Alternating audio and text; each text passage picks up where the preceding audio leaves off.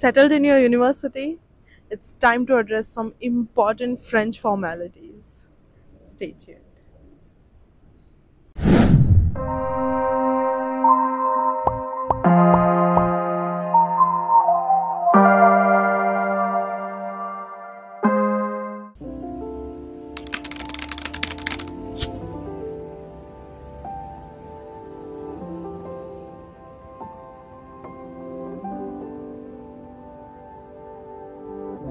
In the last vlog, we tackled some important first week tasks as an Indian student, such as finding accommodation, getting student ID, registering on LinkedIn, and all of these processes. So, this week we are gonna dive deep into French bureaucracy, especially.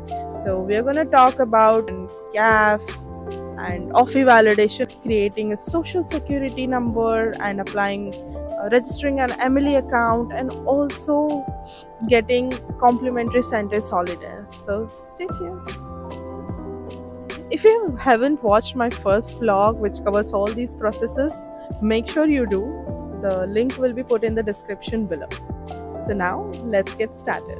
Moving on to week two. So the first thing you have to look at is um, completing your CVEC account. So you will have to pay 103 euros, that is for this year.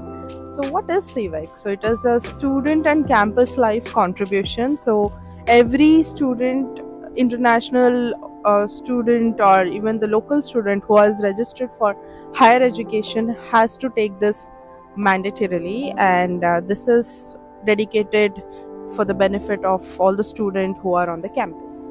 So what are the documents required? That is passport and the process is create the login. I will give the registration link in the description over there and provide all your details. So once you do that, you will get a verification email on your email. So that's when you make the payment. And the payment, like I mentioned, is 103 euros. So it's a lot, but uh, for one academic year, it's 103 and yeah whatever you invest you definitely you'll get it back. So it's just one time per year.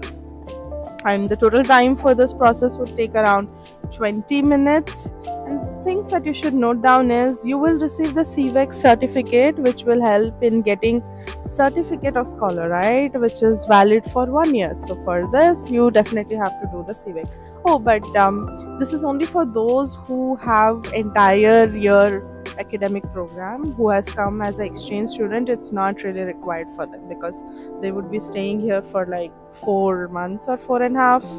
So they don't really uh, are asked to do this process.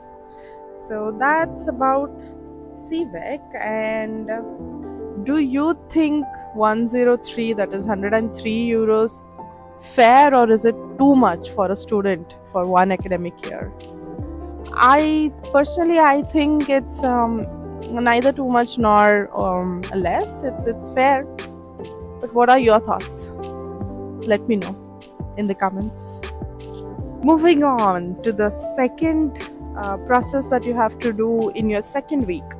So that is OFI validation. So all the students who enter France for their higher education, once they land, they have to do this process that is um, OFI validation within three months of their arrival. This is to notify the government that you have arrived and uh, you have started your uh, studies. So it's just to notify them. And um, if you don't do this within three months, it is considered as uh, you're illegally staying in this country. So it is important for you to do this process. So it's, it's called French Office for Immigration and Integration so, what are the documents that are required? That is visa details, your date of arrival, address of your accommodation, and credit card for payment. So, by this time, if you already have your local bank account, it's good. Or otherwise, you can do the payment via your credit card as well. And I will make a very detailed video very soon on the OFI validation. So, you can refer to that. So, the process uh, look for VLS France and go to the link that I will provide at the uh, in my description. You can refer to that. Select the val select validate your VLS TS. Fill all the details. pay the stamp duty of 50 euros so for someone who has arrived newly to the country it will be 50 euros and someone who is renewing who, who is he staying here for the second year. So he has to renew the OFI validation and it will be 75 euros for that person. So the total time taken here is 20 minutes. And things to note visa validation can must be done within 3 months within the date of arrival. And documents once you do this this document is useful for you to apply for your very important procedure that is social security and CAF so please do it so it, after knowing all this i would like to know have you already done your OFI or is this your first week of your arrival here? Or how long have you been here? If someone who is watching this video do let me know. I would like to know my audience. Week 3 so the very important thing and every student coming to france inquire about is this topic. And that is CAF so what is this? It is a french state welfare agency provided by the french government. The CAF's job is to provide financial help to all those people who are living in France, and this also includes students. So, someone who is registered on this procedure would uh, get around 100 to 200 euros of um, housing allowance in their bank account directly, but provided you have to complete this procedure so again the price how it is decided. You can also check out yourself. There is a simulation that is available on the website. But other than that briefly to tell you um, it depends on uh, what kind of uh, uh, house you're lo- living in. So is it a co-location or is it a studio? Studio gets higher. And are you living alone or you're living with someone? The person who lives alone in a studio apartment with which is a little bigger get better um, allowance compared to the one who has opposite everything. So yeah it depends on a lot of uh, factors. And also uh, whether it is inside city or uh, a little outside city or in the outskirts. So that majorly um, determines the amount that you're going to get. Now coming to documents. So the details about your houses like how big it is what are the amenities does your house have and you're living in co-location or is it a studio and you're living alone? So all these details and your declarations all these declarations and the bank account the OFI the rental contract and your birth certificate are apostilled and translated. So this is why you have to get your birth certificate apostilled and translated guys. It's very very important oh i also have something to tell uh, for those who have come for the short stay uh, study visa. So stay tuned until i complete this one. Yeah so that's it. And and your passport of course. So these are the documents. The process is you have to go for um, uh, caf.fr website and create an account fill out all the details. You will receive a temporary identifier. So log in with that and request for caf so and provide all the details and submit it. Once the document is uploaded you will receive the confirmation by post. And once it is approved you will be notified. If not they will send you the notification uh, via email as to what are the de- deficit documents though you will have to send them either online or via post as well. So this would kind of create a confusion which it did with one of our friends. So, what I recommend you to do is once you submit your application, find the nearest CAF office that is available to your place. Once you find that, you can go there and keep inquiring about the status of your account. So, you will receive the details if uh, they require any documents that also can be given there by hand. So, this in this way, uh, you can expedite the process and also make sure you complete this account within first month of your arrival. Otherwise the first month will not be applicable and you will not receive the allowance. So some few more uh, notes no notes that you should be taking care are just a second. Yeah so the total time ideally it would take around two weeks should not take more. If it is taking then that would be because of your documentations. So, some things that you should notice make sure all the documents are rightly scanned and in high quality, and then once the amount is depo- deposited at starts okay sorry. Every month on 5th the uh, money will be deposited on your bank account and before adding a request you have an option to simulate how much CAF is provided. So you will also come to know if you use the simulation. So the simulation does not uh, really give you the exact amount but you can consider uh, 20 to 30 euros here and there. So that would be your CAF amount. And CAF is applicable even for those people who are on a short stay. So i do not know if some youtubers or the content creators have said it is only applicable for 8 months. No guys it, it, this is not the case. So even those exchange students who are here for four and a half five months even they can get the CAF allowance. So because you will be on a long stay visa right? So you can apply for this uh, this process and uh, get benefited. So good news you can do it as well. Now ugh,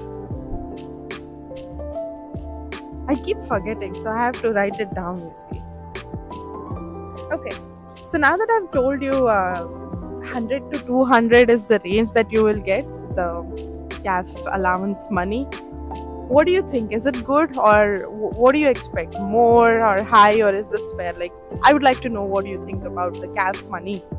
Uh, is it good, bad, or it needs to be increased? Let me know. Social Security. So, it is a public health insurance system that covers all life risks, and this is mandatory for all the students.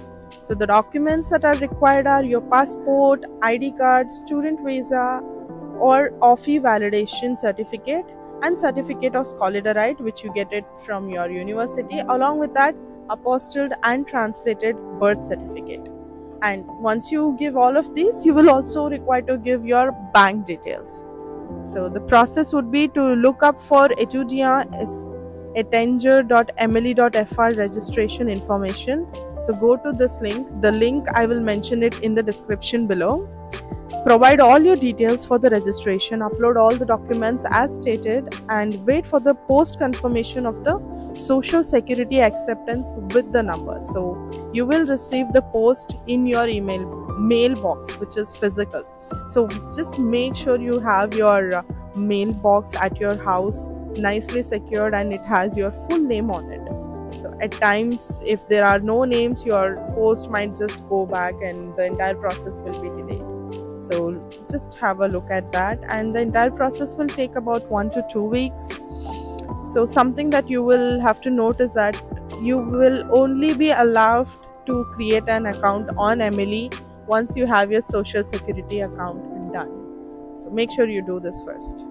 Now do you think social security is required for people who have come for short stays such as four four and a half months I think yes, because you never know when you might fall sick. But what are your thoughts? I would really love to hear this from someone who is an exchange student. Would you like to do this process and is this important for you? Let me know in the comments. Moving on to next one, creating Ameli account. So once you have your social security number created, so that's when you can do an Ameli account. So, what is Ameli? Ameli is an acronym for Assurance Maladi e Linge, meaning health insurance online. So, it allows you to follow all your reimbursement and modify your personal information as well. So, you can not only discuss about your uh, uh, illness, you can also make a request as well on this website. So, what are the documents required here is your social security number, your date of birth, and your postal code so the process would be look for ameli.fr slash assure. The link I will mention in the description. So create Ameli account with the details, post creation request for a carte Vitale. So this is the card that you get once you create your Ameli account and you can download Doctolib app and search for general practitioner and book an appointment. So you have to nominate your GP first on this. So this entire process would take about one or two weeks once you do this you are all ready to book uh, an appointment for your health so some things that you should notice Dr. Lib app helps for search in specialty and you can link it with your Ameli. So all those processes like your blood test, your radiology, your X-ray, all of this can be uploaded on um, um, Doctolib, and you can also chat with your general practitioner and also your other gynac or any other um, doctors that you have booked appointment with, and share them all these details on this app. Carte Vitale is mandatory to bring along when you visit this doctor or also when you go to pharmacy. So whenever the doctor prescribes you any medicines you have to take the card with all to the pharmacy as well. So they would take this uh, card load all the information that they have provided you with all these details and done and dusted. This is how the process works. So now if you have booked any appointment for a Doctolib did you find the journey easy? Just let me know because when initially when i tried to book it was all chaotic because it was the first time. I was not sure whether it was going to be free or what are the charges as a student. So uh, what I would recommend is once you book an appointment or even while you're looking for the doctor, just look out for all the information, whether they accept carte vitale or uh, a direct payment. So don't go for uh, the direct payment ones if you're a student with the social security or also the com- sa- complimentary Santé Solidaire. So look for someone who uh, is ready to uh, take the payment via your vitale so this is how you're gonna save some money. And yeah that that's how you're gonna book. So all these processes so far that i explained would take about one or two months. So may take a little more time. So once you have completed your processes once you have the social security and have completed your ameli account creation that's when you can go ahead to apply for complimentary Santé Solidaire trust me this process and the the offering of this is very much useful for someone who is a student or who who has a limited budget here. So trust me you will have to look at this process. So suppose if i assume that you are going to apply for this process in the third or fourth month so what is complimentary Santé Solidaire it is um, as it is called as CSS, is an additional insurance that covers your medical cost at the doctors, dentist, and hospitals. So there are certain lev- uh, certain kind of diseases or um, treatments that will be covered under this program. So what are the documents required? That is declaration of your monthly expenses. It should be less than 1240 euros per month. Your par- passport, passport, and your carte vitale. So, what is the process? You first have to log into your Ameli account, book an appointment with L'Assurance Maladie, select the pin code near your location wherever you are in France. Then you will share an email from the post appointment confirmation. Fill all the form and reach to the office. Declare your income in front of the representative, I mean to say your monthly expenses as a student. 100% insurance can be covered if your expenses are lower than 1240 euros. So now, something that you have to notice if complimentary Santé Solidaire is applicable, you will receive confirmation via post and confirm the same with your general practitioner. So all many chronic diseases like obesity, hypertension, high cholesterol, coronary heart disease, chronic obstructive pulmonary disease, asthma, chronic kidney disease, diabetes, diabetes are 100% covered by L'Assurance Maladie. So, what do you think about this coverage?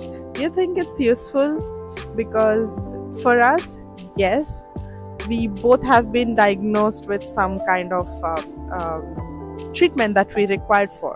And so far, we have taken so many tests and we have visited so many doctors. And trust me, we haven't paid even a penny even for the doctor's appointment and at the pharmacy so guys this is really important if you're a student you never know when you might fall sick or when you might have a diabetes or maybe you might have asthma that you don't know. After coming here because of the change of the weather you might start to see the symptoms. And when diagnosed it might be positive. So if you have this procedure already done all of the expenses will be covered by the french government. So make sure you do this. And i think even the short stay uh, people should also do it. You never know when you fall sick right? It's not something which comes notified already so do it please and also what do you think about it so i hope this video was useful to you if yes consider sharing this with your people or the student you know who might be traveling to France. And like, share, and subscribe, guys, because this may seem like a very small gesture to you, but it takes me a long way. Please understand, I am not being sponsored or paid by anybody nor my channel is monetized yet. So after completing my household chores my school and doing my part-time job i take out time to create or put together this content for you so that this is helpful for all those indian students who are traveling to france because i understand coming from india to a foreign country this is a whole new shift and especially for me when i was traveling out of the country for the, for the very first time. So at least having uh, some someone talk about it or you know this kind of familiarizes you with what to do once you are here. So i think i'm doing a good work but if there are any improvisation or if you think there are some touch points so please do let me know. I would like to improvise and like i said i hope it was useful. So yeah and i don't forget to look out look at other videos such as how to find accommodation Linkee how to register over there and uh, with sim card to buy. So i have made all the detailed videos on it. I will add the link in the description here. So make sure you check out. They are very useful. So until then see you in the next vlog. Bye